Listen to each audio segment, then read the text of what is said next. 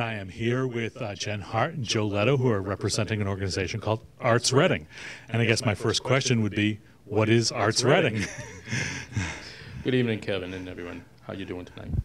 I just want to mention that um, Arts Reading is a group of people uh, that we have formed together to form Arts Reading who are cultural in the town. Okay. All of the cultural uh, associations, like uh, I'm also president of Reading Art Association, and right. Jennifer with Creative Arts. We've formed an umbrella group, let's say, or Okay. a partnership of all of the different organizations in the city that have culture, which I feel, or we feel, is going to benefit the town by Mm-hmm. uh, helping businesses in the community and the artists in the community. Sure. Um, I'd also like to welcome uh, Jennifer Hart here, like you did, and as uh, Jennifer can assist with um, a lot of the um, uh, other questions that we may have that that better than I can actually. So.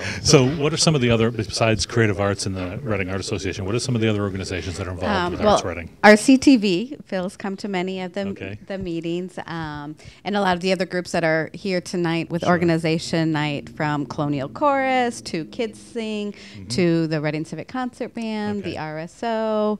Um, who else do we have here tonight? Community singers? Community singers, Yeah, yep, okay. thank you. The Garden Club, the Okay. Reading Cultural Council. Um, even the town of Reading is involved. Okay. Um, Matt, who's the town administrator, Mhm. has been coming. Yes, has Yeah. been coming to our meetings, and he's a, a huge arts supporter. Um, Okay. I actually, we both live in Methuen and Sure. support arts in both communities. Um, he's also a poet, for those of you who don't know. There we go. He's a poet. So you know you've brought all these groups together into kind of, as you said, one umbrella organization. What is the benefit of having an umbrella organization?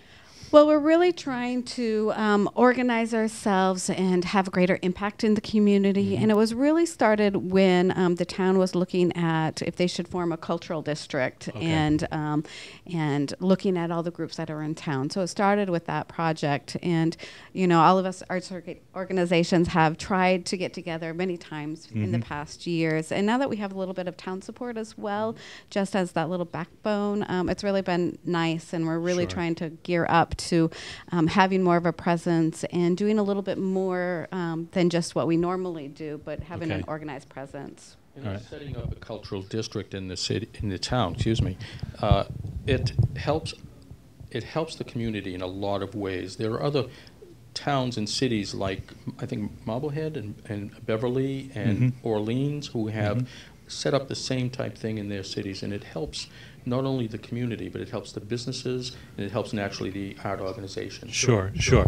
So have you found that even you're able to do things like coordinate calendars and that kind of thing, so we don't have all the events happening on one day or that kind of thing? That we're trying to do. That's a, a very difficult task. Sure. Um, but one thing we're trying to do um, as we form website and kind of get Mm-hmm. um, us all together to figure that piece out. And we're even trying to even connect with um, the businesses too, the Oh, okay. chambers even Sure. involved, so that we can um, work with the um, the town groups and create a few new events, community type events, Mm-hmm. Sure. um, but also make us all aware and hopefully Right. not have all that duplication going So on. do you have events that you're planning and coming up with now currently? Yes, Saturday we are working with the Garden Club. They do their um, annual sale on Mm-hmm. Sale the on Common. the Common, yep. So um, the Arts Reading group is going to be there. We'll have a booth with information, Okay. and then a lot of the individual groups will be there too. Creative Arts is having a booth, and the Art Mhm. Association has artists. But Okay.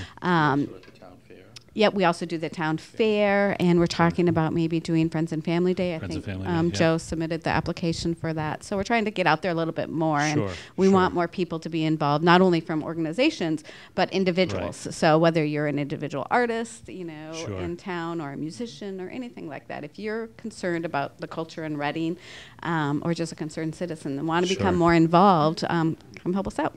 So what have you seen as, as being a director or a, a president of different um, arts organizations in town? What have you seen as the benefit of this, of Arts Reading has been for you and for your organization?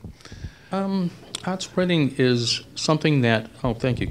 Um, arts reading is something that you need a, like what we're doing is setting up a board or whatever with arts reading, where we have like not a command center, but at least a central point of coordination Mm-hmm. and planning for our future needs. Like we were just talking about getting our stuff on our website so the town Sure. can see it, and also putting our information out in magazines and newspapers and stuff, so everybody knows, or if you want to go on the website, and find out Okay. about certain things, they can see all of the calendars for all of our associations that Mm-hmm. we there. We have about, what, 15 or 20 different associations or groups in our, that, so, I mean, there's a, there's a significant amount of people that really want to get into this and Okay. help out, too, so. So if I was part of an organization that uh, was interested in this, how, how would I do that? How, who would I get a hold of? How would I do that? You come to RCTV on the night that we're making- making our meetings. Um, No, the, um, you can go, I think on Facebook, we have the, um, and explain how that works. I'm Yeah, um, probably the best um, way right now is to email either Joe or myself. You can email Jennifer at We Teach Creative Arts. Okay. Um, or you can get a hold of Joe through the Reading Art Association as well. You can call Creative Arts if you need to. We are um, typically right now meeting on the third Thursday of each month. each month, Um, it's what we're doing, and we meet at Town Hall at about seven o'clock. Okay. Um, so that's when our meetings are. But any involvement is great. Come down to um, Saturday to the Right. garden sale To- and to see the us there. And see all the different Sign organizations. Yeah. All right, any other information you want to share with people out there at this point? Um, I don't know. It's a great, you know, we're really trying to form ourselves back up again, Sure. and um, it's a lot about education and Yeah. also reaching back out into the community to find out who is supporting of the culture in Mm-hmm. Right. Reading, so that we can figure out what our next steps are. What do other people want? We want a calendar, and you know, I'm sure some community members do. But what other things are needed? You know, we have dreams of, you know, big things of Sure. a cultural campus, If but. anybody has any questions or any ideas about uh, what they might think, please uh, stop and uh, give us a call. Like I said, my information is on, arts, excuse me, Reading Art or readingarts.org, readingartassociation.org. Okay. Uh, I had to remember that one. And, uh, or give us a call at, uh, off Facebook, uh, at, uh, leave messages with us. Thank you. Okay, well, that's terrific. And uh, I guess if you want to get in on the ground floor with the cultural scene here in Reading and what's going on with the different groups, Arts Reading is the way to do it. So thank you for being here and sharing a little bit about uh, what that's all about. Thank you. All right.